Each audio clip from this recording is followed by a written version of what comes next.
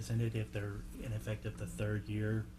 The third year, and that is the, the change to the tenure law and the, and the law as well. If you're rated ineffective three years, um, three consecutive years, you lose your teaching certificate. Right, you lose tenure You after two. lose tenure, yeah. And that's, that's the, the, the part that, that I hope gets changed. Obviously, ineffective teachers need to be handled, you know, in, in an employment situation, but just how effective do we, do they expect that person to be in the third year if you've told the whole world they're ineffective? Right.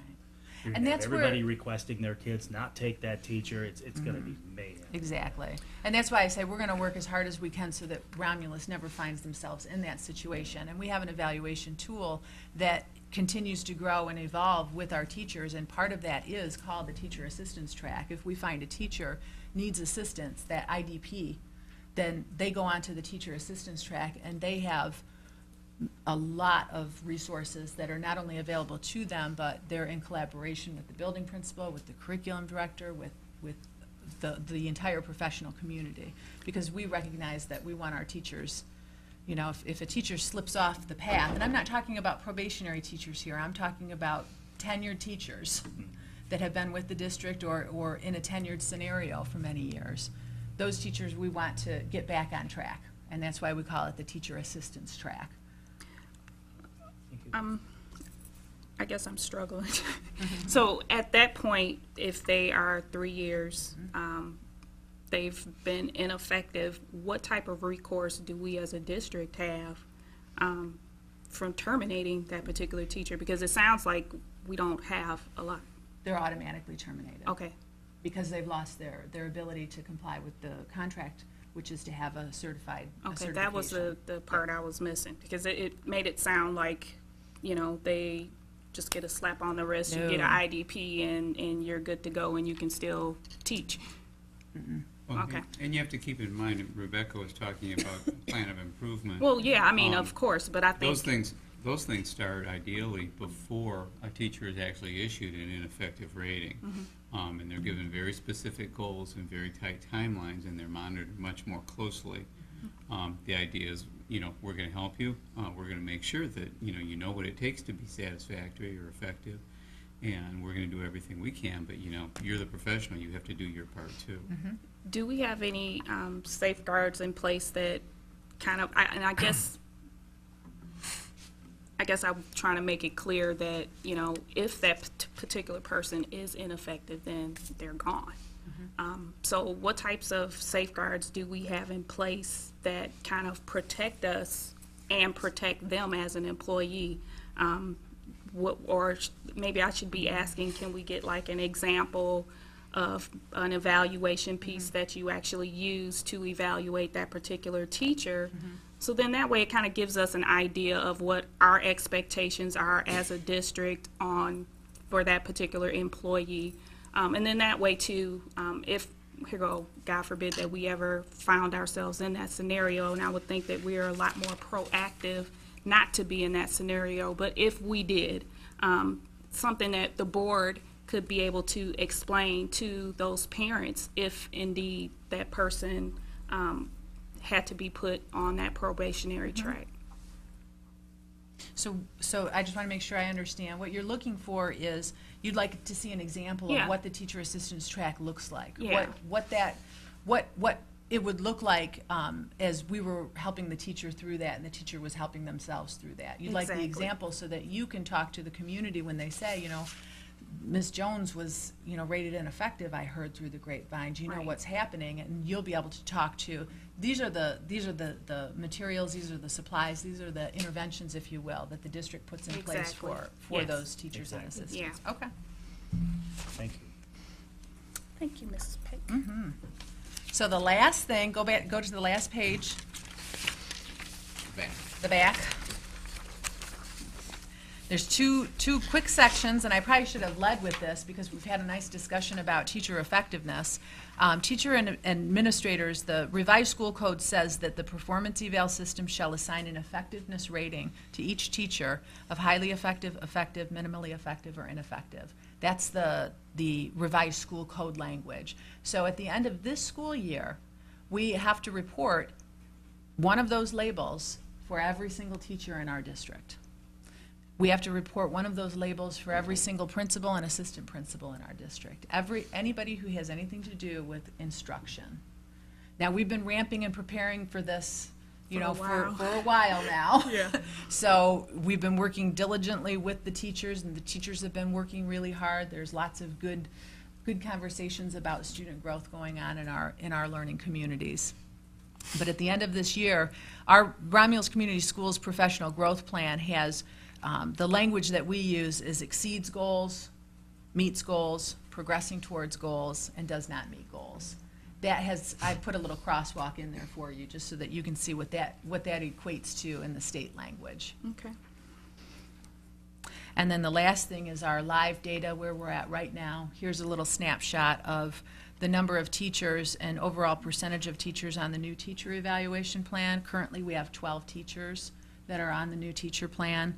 I've also indicated years one, two, and three. Um, Teachers that were hired prior to July 11th, 2000, Ju- July 19th, 2011, they are on a four-year probationary track. Teachers hired after that are on a five-year. Right now, uh, th- these are the years that the teachers are on. So I have two one-year teacher, first-year teachers, eight second-year teachers, and three second-year teachers. And then for our professional growth plan, those are our tenured teachers in, in, in good instructional standing, as we call that. They're not in need of teacher assistance. They're, they're humming along in their, in their, um, in their um, instruction. They're on the professional growth plan. That's the majority. You see, we have 175 or 92% of our teachers are on that plan. And then we have four teachers currently that are on an IDP. That's um, about 2% of our overall teacher population. Um, One of them is a, his, his, is, this is the, two, two of those teachers, this is the first year on a plan, and two of those teachers, this is the second year on a plan. So you can see that, the- that will, that is being addressed through HR and through the buildings as well. Yes. Um, you said this was real time. Is this prior to this year's evaluations being put in the system? Or is this as of like March tenth? March 10th, March 5th. I don't- Is when I ran the numbers. I don't mean this to sound sarcastic or as mm-hmm. harsh as it's going to, and I'm certainly not trying to bash our teachers. Mm-hmm. If we have ninety-two percent that, quote, are either effective or highly effective, how did our MEAP scores tank? I don't like drawing the direct correlation there mm-hmm. because I've stated many times the MEAP should be printed on Charmin. But, sorry. Um, but it's hard for me to, to equate that with ninety-two percent of our teachers being effective or highly effective, because Well- obviously something's broken somewhere. Let me go back one more step. This is the first year, at the end of this school year, June 1st, is when we will report an effectiveness rating for teachers. So this is the first year that we are, we are tying our student growth data to our professional growth. So, so I, I understand what you're saying, you know, 92% of our teachers, you would think that that would be an automatic correlation to, you know, our our high, high, high test scores and, and, um, and that. We have no teachers that have an effectiveness rating at this point. Okay, There's, there's no teachers. so that it's kind of can- apples to oranges at this point until Until we. that comes out. Exactly. But- Now, But you need to understand too that the MEAP is only um, one part Oh, I of understand. what goes into the effectiveness rating. We would hate to judge a teacher um, at the end of the year based on something that happened in one day. But we behind this table don't. Parents do. And that, But- that's our struggle. And again, the, as far as the MEAP scores, you know, the MEAP scores didn't really tank. Okay, the the system changed.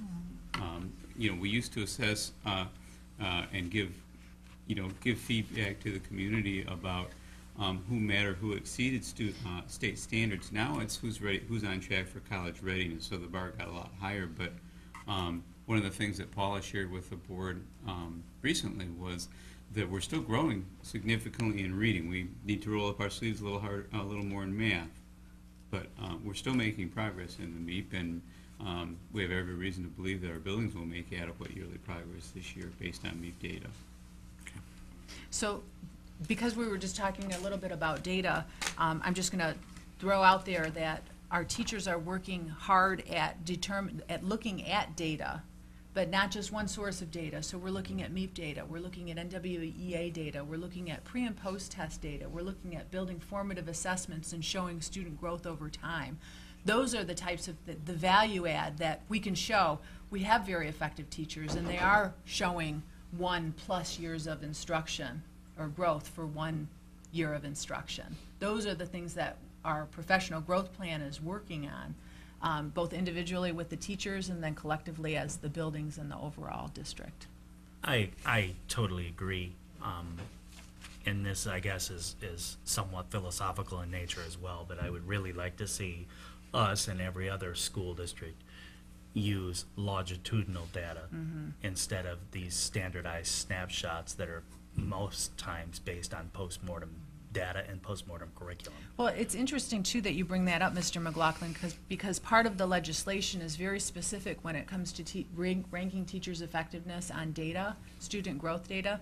It asks that you look at no less than three years over time, three years of, of data Student over time. Yes, yep. So now how we're going to do that, we're still working that out, and the state is working very hard. They, they're putting systems in place as well. Um, something called the te- teacher-student data link is what allows us to link those, those teachers to students over time. Um, we just rolled that out, we meaning the state just rolled that out this year, and we're implementing that as well. Thank you. Uh, Are the administrators on a similar evaluation plan? Yes, they are. Okay. Yes, they are. They have, they've been, administrators have been annually evaluating for a long time. 2007. Yeah, um, and we're incorporating the same, um, um, the same attributes into the administrator evaluation with regard to effectiveness, um, because they will also receive the effectiveness ratings as well. Well, That part's still a work in progress, isn't it? Correct. With the administrators, they're, they're revi, because they're revising our, um, the system that we adopted in 2007 to include uh, student test data. Yep.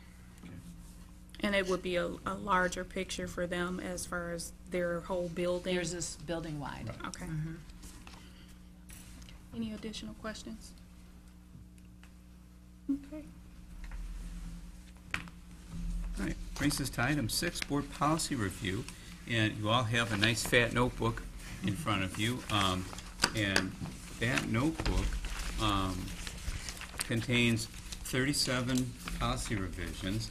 Um, many of those are necessitated by recent legislation. Some of them are recommendations either from the Michigan Association of School Boards or from Neola, the other policy, um, creating organization. Um, stands for Northeast Ohio Legal Association, but it's a national company used by school districts all over the country. Um, and what happens is, um, every now and then, besides uh, legislative changes like we've been seeing here in Michigan, every now and then there's a court case that um, that comes to comes to light where a district doesn't have a policy on something, the district errs, and bad things happen as a result of that.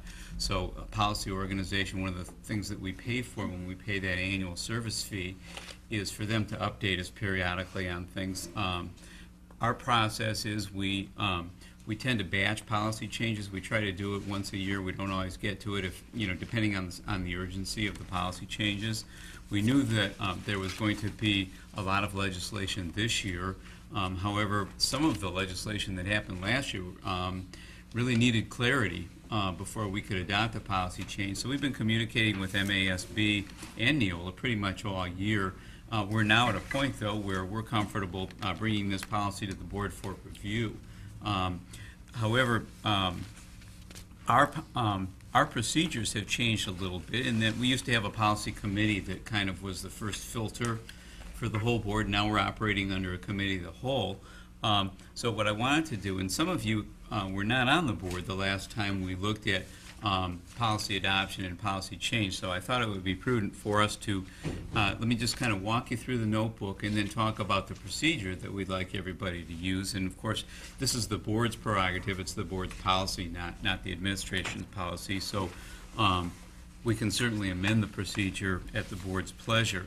Um, If you open up your notebook, um, let me just orient you a little bit. In the left-hand pocket is current policy. Um, You've got a stack of papers there. Um, This is our current policy that is um, ready for revision. And again, it's ready for revision based on changes in the law or recommendations from either the administration, uh, we have